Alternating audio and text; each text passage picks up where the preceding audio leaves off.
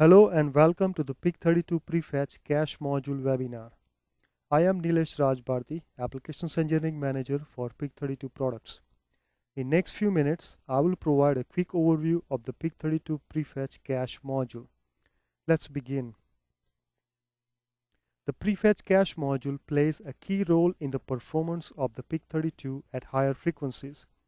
It keeps track of instructions the CPU is executing and automatically prefetches next sequential instructions and stores them in a high-speed cache memory. The PIC32 prefetch cache module is designed to cache the flash memory content only. The PIC32 SRAM runs at the CPU speed and it does not need any cache memory. The PIC32 prefetch cache module provides multiple operating modes to suit an application's deterministic behavior. This block diagram shows where the prefetch cache module is located in the overall system block diagram. With that brief prefetch cache module introduction, let's see why the prefetch cache module is important. This graph shows three different scenarios. The ideal scenario assumes that the flash memory runs as fast as the CPU. It means that as processor frequency is increased, the performance increases linearly. But in nearly all high-speed processors, the flash memory speed is limited to a specific frequency.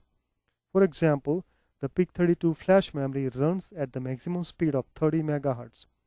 This restriction requires that as you increase the processor frequency beyond 30 MHz, the CPU must be programmed to insert one wait state for every read from the flash memory.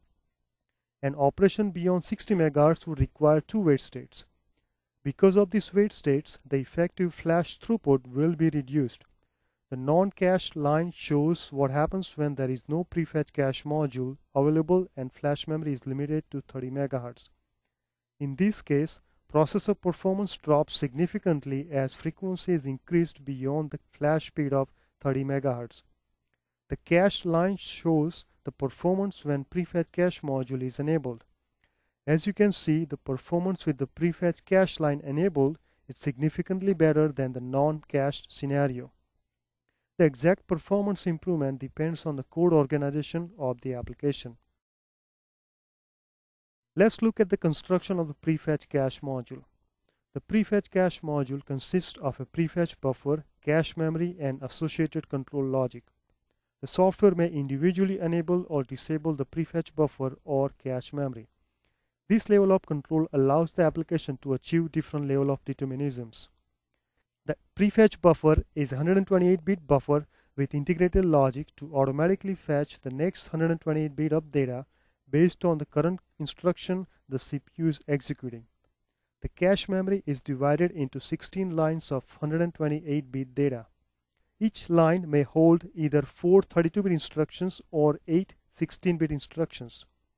Out of 16 cache lines, software may reserve up to 4 lines for ROM or constant data storage.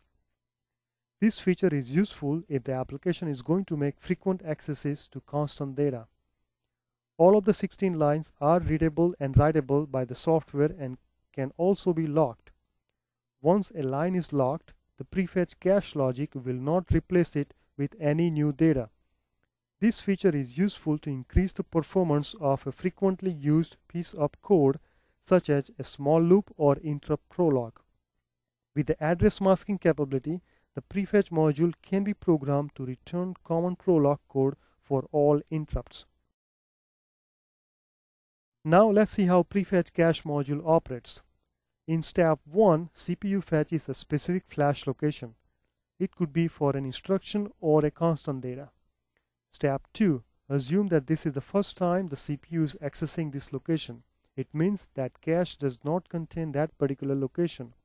This condition is called a cache miss. Step 3. Now that there was a cache miss, the cache logic instructs the prefetch buffer to read the flash memory. The prefetch logic will wait a predetermined number of cycles before reading the flash memory. Step 4. Once the 128-bit of data is loaded in the prefetch buffer, it is copied to an available cache line in cache. The cache controller uses least recently used algorithm to determine which cache line to use. Step 5. Now that the requested location is in the cache, the cache module returns the content to the CPU.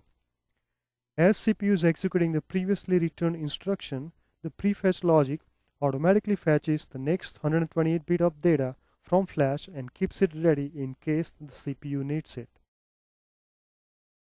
So you now have a high-level understanding of PIC32 prefetch cache module. To learn more, visit www.microchip.com slash PIC32. This site contains PIC32 datasheet, family reference manual, and various other resources. This site also provides prefetch cache module specific code examples using MPLAB C32C compiler. The same code examples are also available in the C32 compiler distribution. Thanks for your time.